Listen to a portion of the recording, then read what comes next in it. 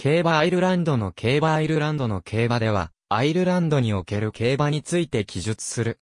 アイルランドの競馬は、規則監督機関が2件あり、一方のアイルランド競馬連盟は広く平地競争と、障害競争を合わせアイルランド島全体つまり、イギリスに含まれる北アイルランドと、アイルランド共和国を統括する。他方、イギリスと対象させ、アイルランド国内のみに目を配るアイリッシュターフクラブは、公益法人で、その参加に障害競争を専門とする、アイルランドナショナルハント障害レース委員会を置く。なお、2018年1月1日より、公益法人アイリッシュターフクラブは、営利目的の社団法人に移行して、組織を改変すると、新しく、アイルランド競馬規則委員会として発足した。アイルランドでは、紀元前からすでに馬を用いた競争が行われていた。1752年に、コークで行われた、障害物を飛び越しつつ、教会の先頭を目指す競争は、世界初の障害競争とされ、アイルランドは障害競争の発祥地とされる。現在も施行される障害競争の数は、平地競争よりも約1.5倍程度多く、大変な人気を誇る。国内の競馬場の大半は、平地競争と障害競争併用のものである。1790年代以降、アイルランドを植民地支配していたイギリスの影響を受けて、競馬志向のシステムが整備され、公益団体として国内を管轄範囲とするアイリッシュターフクラブを設立、何度か名称変更を経ながら2017年12月31日まで平地競争と障害競争両方を管轄している。参加にアイルランドナショナルハント障害レース委員会を置いて運営された。2018年1月1日より、営利目的の社団法人としてアイルランド競馬規則委員会が発足。これまで、ターフクラブとナショナルハント障害レース委員会が、言ってきた、規制業務を引き継ぎ、競争の規則徹底と裁定を取り行う。競馬に対する政府の関与が強く、現在は特殊法人のアイルランド競馬協会が統括団体となっている。かけは、理の直轄組織である、トートアイルランドが発売する、パリミューチュエル方式の馬券によって行われる。世界でも有数の馬産地で、クールモアスタッドやゴドルフィンなどの生産者が拠点を構えている。ただし2008年7月をもって、種付け量収入を非課税とする税制上の優遇措置が廃止される影響から、生産頭数減少を懸念する声がある。また、イギリスの競馬と非常に密接な関係を築いている。地理的にも近いことから非常に交流が盛んであり、守護馬成績はイギリス、アイルランドを合わせた形式で発表される。インスラ美術グロテスク風の馬に乗る男性像。ケルズの書よりアイルランドの競馬の歴史は非常に長く古代の文書、ダデルガ帝の破壊には地域を治める豪族の粉や王が4頭を揃えてからでつなぎが車競争に参加したという話が記され、諸説あるものの時代は紀元前110年から紀元60年の間と考えられる。古い時代に殻で競馬を開いたことは、およそ7世紀に書かれたとされる、別の資料、賛美歌の書ライバーヒモラムにも記録がある。伝説のフィアナ騎士団は、ガシャをつながず競争を楽しんだといい、レンスターの書には、殻と近隣のリムリック県クルムで開かれた競争の様子を伝える詩があり、また現代も続く、ケリー県、ロスビーの浜辺で行う競争でも伝統に触れている。ゴールウェイ競馬場には13世紀、キングスプレート競争の条項に従い、馬の試合を行ったと伝わっている。しかしながら最初期の競争開催で、検証可能な証拠を求めると、デリー県知事が1603年に国王令状を授けられ、見本市と定期市の開催に合わせて競馬志向を免許されている。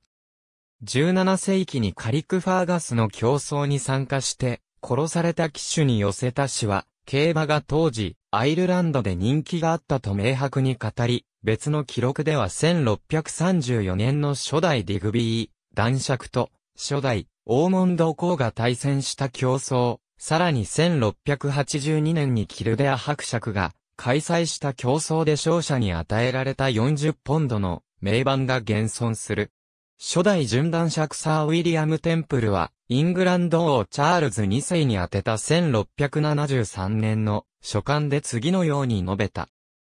アイルランドでは、馬は売り物になりません。こちらの生産馬は我らが、祖国に持ち帰ると高値を呼びそうな、形が秀でて、活力と体格に優れたものばかりで、よそ者を売れるものなら売ってみろと言われてしまう始末です。チャールズ2世の知性の1666年に、王室競争としてのキングスプレート競争が導入され競馬界の競争が高まると、足が速く持久力の優れた馬が好まれるようになり12、ストーンの重量で4マイルを競えるかどうかが焦点になった。勝ち馬は繁殖用に引っ張りだこになり、血統改良が進んで、平地競争では、芽が出なくても障害競争で勝てる馬を輩出した。からは1670年代に優勝費を多く受け、1685年には、初のスタッドブックが発行される。発行元は生産者の集うダウンロイヤル競馬場で、競走馬の血統を宣伝しようと手掛けた。また別の事情として、アイルランド刑罰法が施行され、カトリック教徒が5ポンド以下の馬の所有を禁じられたのだが、馬主の意欲を損なうことはなく、かえって安い馬専門のレースが人気を集めた。開催の宣伝合戦が新聞紙上で始まり、1750年に英語版競馬新聞レーシングカレンダーに掲載された競争のうち、アイルランドで行われたのは71開催に上る。さて障害競争の創設期、コーク県バタバントとドネレールを結ぶ原野で4.5マイルレースが施行され、出走地点とゴール地点には、両方の町の有名な教会の塔が選ばれた。地元のエドモンド・ブレイクとコーネリアス・オキャラハンの競り合いは、狐狩りの伝統に基づくクロスカントリー競争の人気に火をつけ、獲物の狐の代わりに商品が用意された初回の競争では、ワイン一樽である。最初期の障害競争では、合意事項はスタートとゴールを名所前にする程度で、コース自体は騎手が自分で選んでいる。後に原野に何本も旗を立て、旗と旗を結んで走るように決まった。原野を走るレースから人工的に作った競馬場が各地に設けられるのは1830年代であり、形式は平地競争のコースに似せてあった。また競走馬の年齢に応じて、ウエイトのアローワンスが規定され、今日のナショナルハント競争の下地が整っていく。パンチェスタウンフェスティバルの監修。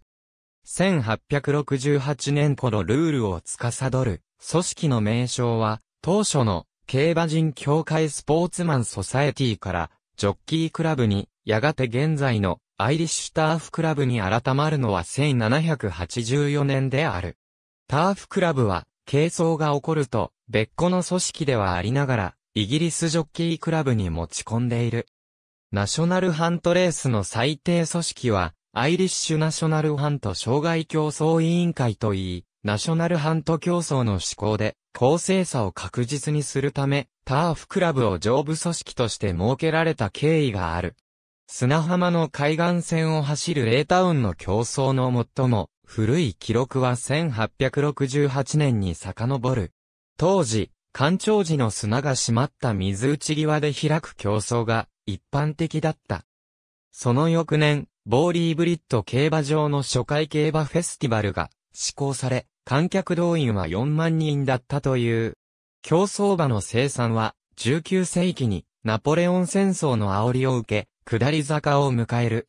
不況は繁殖への投資を渋らせ、有力馬は、賞金の、より豊かなイギリス本土の競争に出されがちだった。しかしながら、アイルランドで、鉄道網の発展につれ、例えばカラ駅の新設、サールス駅からジャンクション駅間が延伸、新しい場所に競馬場が次々建設される。レース目当ての乗客数が見込めるようになると、開催のスポンサーを買って出たり、1846年10月16日、木曜日には、キングスブリッジ駅から競馬場最寄りの唐駅まで、特別列車を運行したり袋に3等車を連結したり、出場馬の鉄道馬運賃を無料にするなど、鉄道会社の営業努力で、アイルランドの競馬界に追い風が吹き始めた。カラ競馬場の勝ち馬クローンスポキシュは、J モイラン第一次世界大戦開戦当初、競争の思考中止に至らず、競争馬30万頭に占めるサラブレッドの数も低かった。イースター放棄により、競馬が6週間にわたって禁止されたものの、解禁直後に開催されている。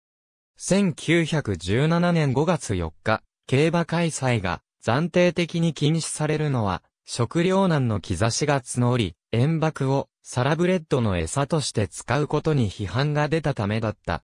ところが、競馬関係の十字人口が2万人とも言われたアイルランドで開催禁止に不満の声が上がった。再び人民放棄を招くのではないかと恐れた大英帝国政府はカラフェスティバル施行を許す情報を見せ、ついに6月20日に開催される。1915年に入るとからに、ブリティッシュナショナルスタッドが本拠を置き、独立後のアイリッシュナショナルスタッドの礎が築かれた。アイルランド独立戦争後は、アイルランドの競馬会のルール作りと支援に力が費やされ、国産馬の海外への売り込みが本格化した。まず1926年にはアイルランド自由国憲法により、場外馬券が合法化され、トータライザー導入による業界の経済基盤づくりは1930年に始まる。第二次世界大戦勃発に連鎖したアイルランドの緊急事態はむしろ競馬界にはプラスに働き、海外旅行も自動車で出かけるレジャーも禁止された。大衆が競馬場へと足を向け、動員数を大きく伸ばしたのである。アイルランド競馬理事会の創設は1945年で、設立の主な趣旨は、業界の収支面の監督とされ、その方針として、アイリッシュホースオーソリティとアイルランド競馬連盟へと時代は進んでいく。これらの組織が導入した方策により、アイルランドの競馬界は一段と力をつけていく。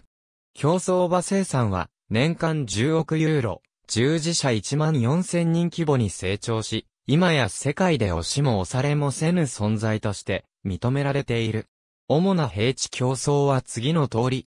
暦の関係上、開催が前の月に前倒しするときや、翌月にずれ込むことがあり、第週と書いてあるものがずれることがよくある。よってあくまでも目安として判断していただきたい。